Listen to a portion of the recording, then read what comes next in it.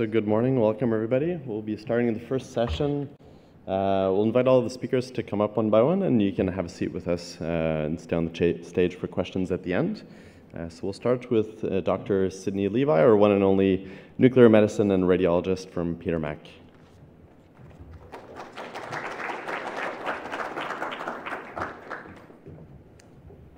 Okay, uh, welcome everyone. Uh, thanks for joining us today. I'm going to talk about uh, PSMA PET CT in the primary staging of prostate cancer. So, without further ado, let's get going. No conflicts of interest. So, at the moment, there are four tracers that are in widespread use around the world. One of them is a gallium based tracer, three of them are fluorinated. We tend to use the first two, gallium PSMA 11, and uh, we often call it fluorinated PSR. Uh, the other two more international. It's worth remembering that only three of them are FDA approved at the moment, as indicated, uh, with 1007 not yet FDA approved. So, Pro-PSMA was uh, one of the trials that really got us going in terms of proving that PSMA PET-CT was an invaluable tool in primary staging. Uh, it was a multi-centre uh, a trial, prospective, randomised, uh, multi-readers, uh, and it had 302 patients. And the main purpose here was to prove that PSMA PET-CT was more useful than bone scan and CT to stage prostate cancer and it achieved that purpose. So essentially, it was 27% more accurate than conventional imaging in uh, staging prostate cancer, nodal or distant METs. This led to a greater treatment impact, as indicated, and fewer uncertain results compared with conventional imaging, as well as some uh, extra benefits, less radiation overall, high reporter agreement, no adverse effects seen, and frankly, a lot easier to read in clinical practice. There were also three international trials which were essential in helping to establish the exact accuracy of PSMA PET CT against histology as a gold standard. And uh, these were out of uh, essentially America and Europe. Uh, we've got the Thomas Hope study, which was led out of UCSF uh, with European centres. We've got the Osprey study, which uh, was uh, an American Canadian collaboration, and we've got the Lighthouse study, which was an American European collaboration. Now, to try and summarise all this data, uh, fortunately, there was a lot of uniformity uh, in terms of results, and uh, they all compared against pelvic lymphadenectomy as a, as a gold standard, so the histopathology. Uh, this, there were slight differences in patient eligibility, uh, particularly the Osprey study focused more on high risk groups, whereas the other two were more intermediate risk and high risk. But even in spite of this, the specificity was remarkable 95% or plus in all trials. And these are all trials with 250 to 300 patients, so very well powered. The sensitivity, not surprisingly, uh, PET CT has limitations in terms of resolution and low sensitivity was achieved. So it's just important to remember that just because we don't see something on PSMA PET CT, it doesn't mean that there isn't micrometastatic disease. The positive predictive values were slightly different, and again, the main reason for that was here in the Osprey study, they focused more on high risk groups, so that increased the positive predictive value somewhat. Um, but very, very importantly, compared to conventional imaging, the extrapelvic M1 lesions, there was a significant rate of pickup of these lesions which would never have been seen otherwise on conventional imaging. And the other thing to remember is it did cover the gallium and the fluorinated traces, so what's in widespread use uh, worldwide. This led to some appropriate use criteria. So, an expert working group were surveyed on various scenarios of when do we use PSMA PET CT?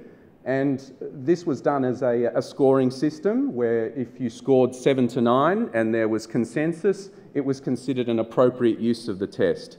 So as of 2024, and this is still changing, uh, appropriate use criteria are unfavourable, intermediate, or high risk prostate cancer with or without negative or equivocal findings on conventional imaging for oligometastatic disease. Now, there was also some work done on cost effectiveness. This was part of the Pro PSMA trial, and it was a prospectively defined econ- economic evaluation embedded in the clinical trial. And in the Australian setting, and I stress it does vary markedly depending on where you come from, but in the Australian setting, PSMA PET CT came out $200 cheaper per patient compared with conventional imaging, which was a very important thing to. Uh, outline because a lot of people thought it would not be the case beforehand. What have we learned about the staging that we have performed so far using PSMA PET CT? This is some data that's come out of long term follow up at four years from the Pro PSMA trial, and it has shown that baseline nodal staging with PSMA PET CT is prognostic for medium term oncological outcomes. Now, what does that mean? So, an oncological outcome was defined as time to metastasis, introduction of salvage therapy, or biochemical recurrence, the strict definition. And what it did show was that, uh, particularly at three years, just here, I draw your attention to this, people who had N1 disease at baseline had a significantly higher rate of adverse oncological outcomes compared with N0 disease. Whereas people who had conventional imaging, there was no difference. It didn't make a, a, difference whether you were classified as N1 or N0 at baseline imaging. So that's important just to see the long term effects of this imaging. What does it mean? This helps to show what it means.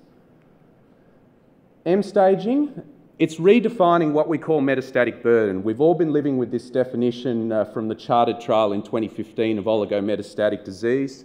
It's defined the introduction of a lot of different treatments, such as particularly in radiation oncology.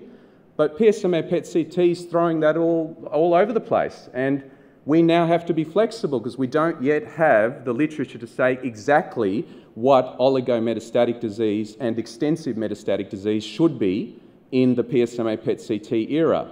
And we, we simply have to wait. But for the moment, we need to be flexible as clinicians as to who deserves treatment and who doesn't because the old definition is a bit out of date. And we're even looking at T staging for PSMA PET CT. It was traditionally the domain of MRI, but we're seeing, as I'm sure many of you will have noticed, large agreement between MRI and PSMA PET CT. We've got a nice PIRADS 5 lesion there in the right posterior peripheral zone, intensely PSMA avid, and the majority of the time that's what we see. And when we don't see that, the first thing I think of in clinical practice is are they both read correctly? So I need to look at it again and decide whether, because uh, they usually do agree, not always, but usually. We can sometimes add extra information, like this is a, an example, for instance, of macro EPE, nicely shown on the MRI here but also shown, uh, if you have a look at the CT here, there's all this soft tissue which is beyond the confines of the prostatic capsule. So again, you have to be a little careful. Sometimes I use uh, terminology such as suspected, or I, I won't always come down hard on this, but you can add useful information that way. And particularly with regards to upstaging people to T3B, if you see seminal vesicular invasion on a PET scan, that's very helpful because sometimes that can be difficult to call on MRI, and that's a really important uh, game changer in terms of subsequent management. False positives are important. Um, we always have uh, fractures, benign bone lesions, Pagets, degenerative geodes, autonomic ganglia, and a long, long list of other cancers. I mean, my, my, first question is, is there, are there cancers which aren't PSMA avid? Because so many of them have some degree of PSMA avidity, and of course hemangiomas. Just one little thing for those who are using 1007, there, are, there is a feeling that there is a slightly higher risk of um, false positive bone findings. So that's something, just watch this space. We need to sort of uh, uh, establish its exact role over the next year or two. And lastly, it's worth remembering that uh, even if findings are equivocal, PSMA PET CT still results in less false positives in metastatic disease. And it doesn't matter if you're a sensitive reader or a more specific reader. So that's really helpful. It still has the advantage over bone scanning. Lastly, I'd like to remind everyone no test is perfect and PSMA PET CT is no exception. This is a nasty PIRADS 5 lesion which came back as a Gleason 8. It had no PSMA uptake at all, but plenty of FDG uptake. So always remember FDG, keep it in the toolkit. There'll be others speaking on this later on. Thanks to Peter Mac, thanks to Prostic, and I hope you enjoy the rest of the conference.